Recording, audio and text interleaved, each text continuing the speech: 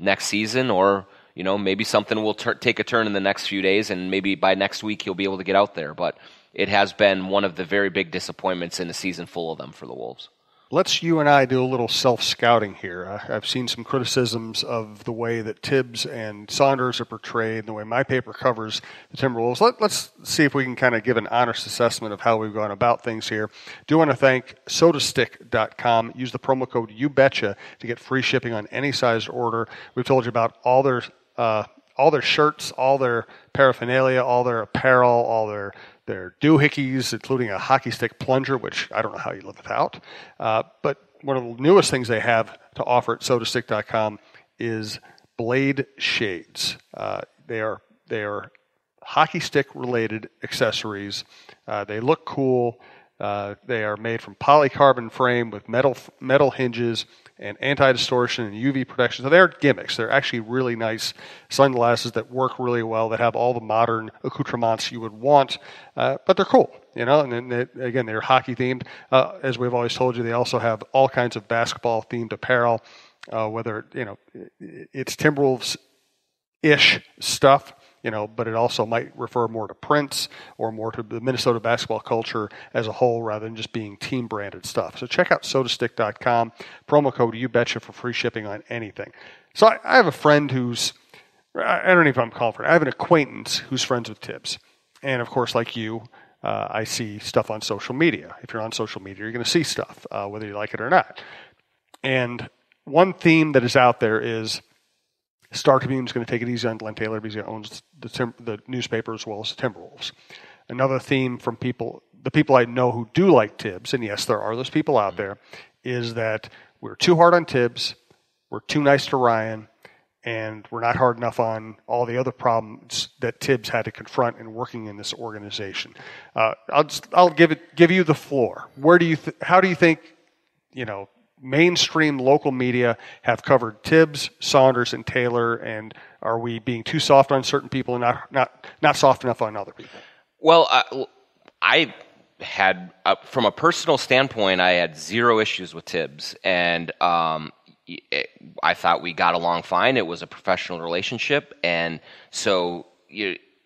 I think that there there is a perception out there among the Thibs backers that because he wasn't soft and fuzzy and because he wasn't in- incredibly accessible, that he is graded on a tougher curve than others who are accessible. And I don't, I mean, I don't know that that's fair, to be honest. I mean, sure, there is part of it where if, if a person in a position of power engages with either media or fans or his or her own employees and kind of presents their vision in an open and transparent way, I think it's easier to connect with that. It's easier to understand that side of the equation.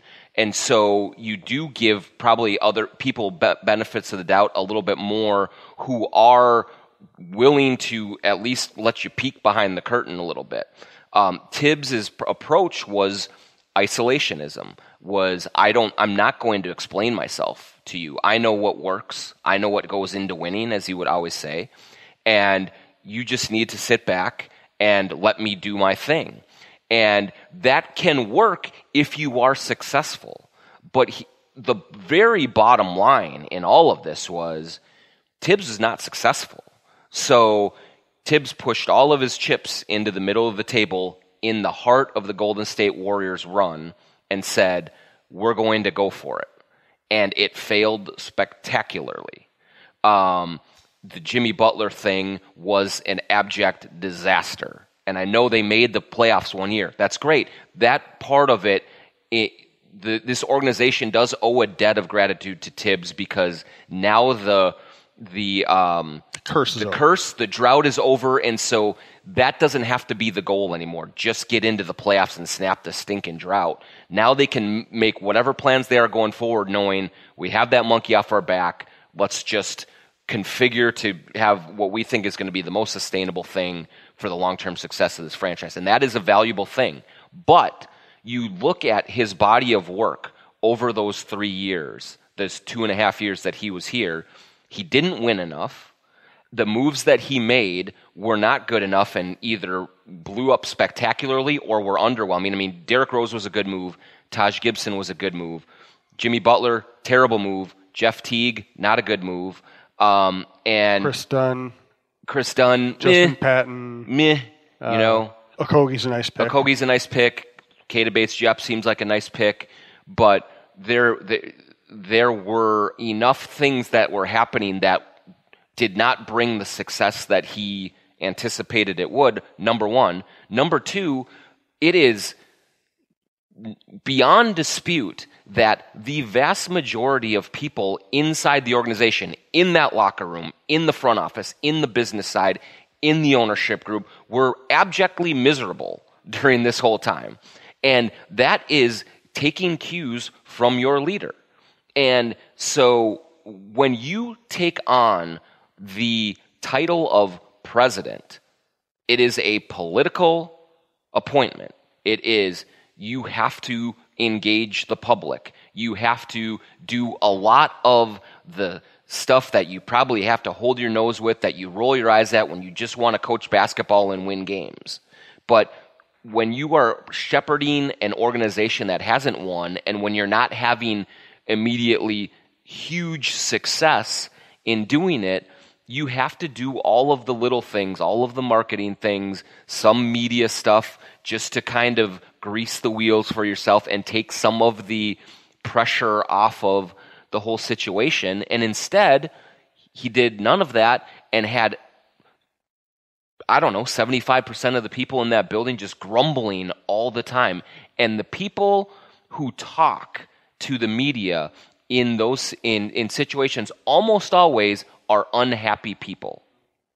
And if you don't feel a part of something, if you feel disconnected, if it feels like you're out kind of in this wilderness and the big guy is on his throne and not letting anybody be a part of it, it is going to contribute to an atmosphere of negativity that only really, really high level winning can overcome.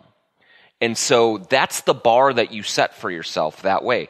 I would think that, yes, I mean, I think Ryan is getting a little bit more of a benefit of the doubt. Number one, because he's 32 years old and has been thrust into a, a terrible situation.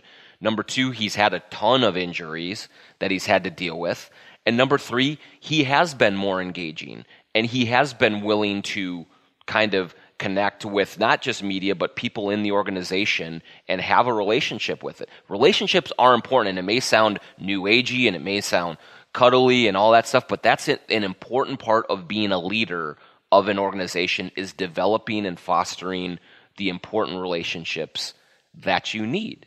And so that's you know, that's the whole thing. And the other part of it is yes, you can grumble about Glen Taylor and maybe what he wants out of a coach or out of a person. But eh, when you decide to sign up and work for that guy and take his checks, you got to understand he wants that. He wants that engagement. He wants that personal relationship. I was talking to another agent of coaches today, and one of his guys is in another situation that's not going well.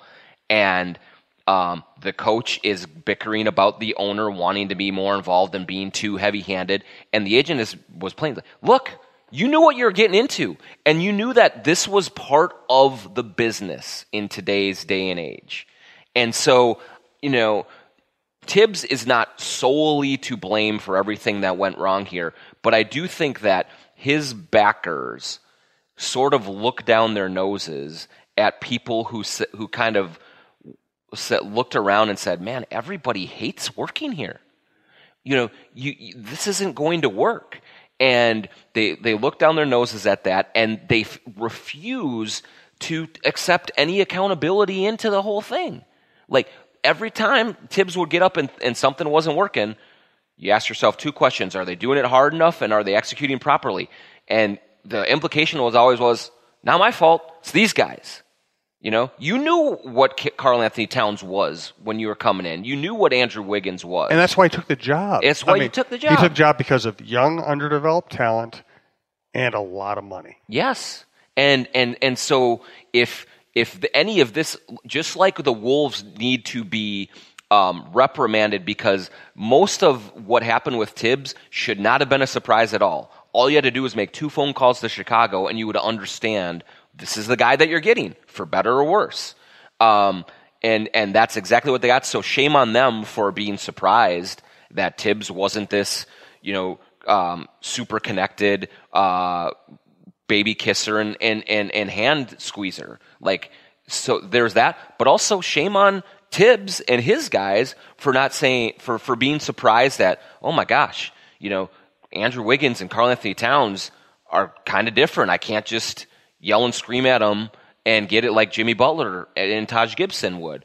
Um, oh my gosh, Glen Taylor doesn't like that I curse a blue streak up and down the sideline in front of his kids. Yeah, I mean his nephews you or know, grandchildren, you whatever. He's got to do his own homework as well, and I just think that you know the the sort of total dismissal of the Timberwolves as this franchise that's always failed, and so it wasn't Thibs' fault at all. It was all on the these guys who are having unnecessary expectations. I know there was not unnecessary expectations or um, unreasonable expectations of Thibs. They just wanted some interaction, some help, some um, conversation, and that was goes for in the locker room too. I mean, after every game with Thibs, there were four or five players coming up to me and pissing and moaning about the situation, about the lack of communication, about all that stuff. And it's not all just the high maintenance guys. It's it was you know strong, sturdy guys who have been in that locker room for a while. And so when you have all of that permeating, I just I, I can't feel sorry for the way that it went down. I mean, I, I'm not going to do that. And you know, at the end of the day, number one, he he he presided over an atmosphere of complete misery. Number two, um, he didn't win enough. Like he didn't win. If they were the third seed in the in the West on January 6th after they beat the Lakers, he would still be here. But he didn't. They were terrible. 4 9 and they were not playing well and then he let the Jimmy Butler thing happen. He dug his own grave, unfortunately. Like that's just the that that's the facts of the case. And again, I have I harbor no ill will toward him. He was he's always nice. Um, he was always cordial. My kids met him. He, you know, they, they all, they liked him. Like all of that stuff. I have zero animosity at all for him. But the, the facts of the case were this is what happened during his reign, and that's why he's not here anymore. Yeah, and you know, from my perspective, I uh, I talked a, lot in Brazil. Uh, I talked to him. I had a few personal conversations his first summer here last summer when they were doing kind of the goodwill tour. I spent some time with him, did a podcast with him, had some long conversations with him. And what I found fascinating about that is, and so I, I liked him in those settings. I didn't necessarily dislike him in other settings. I just found him very dis- aloof. Yeah. But what I found amazing was even when they wanted to do the goodwill tour and they wanted to kind of show his personal side and, and maybe earn some goodwill, as soon as the even then, if the subject turned to Timberwolves basketball, it the the switch went on and it became robot time. Mm-hmm. And we saw the same guy we saw at every post game press conference where they he cut off the question to offer the boilerplate answer. It just he I, I think there's a really good coach in there a knowledgeable coach, but he can't do the other stuff. He just can't do it. Right. And and look, like everyone knows like i had a really good relationship with flip he would call me at midnight and talk about things and that was that's the that's out the of the norm yes i am not even like my assessment of whether the thibs regime worked or not has absolutely nothing to do with the media side of it even because like one thing that i absolutely admire about both tom thibodeau and scott layden is they didn't engage me or anyone else. But they didn't play favorites. But they didn't play favorites. Yep. And that was their that's their position the whole way. We do not want to be this we want to be the Patriots of, of the NBA. And fine. Like I, I, I don't expect or demand to have any sort of like behind the scenes looks like that. If that's how you want to play it, that's okay. But if you do it that way,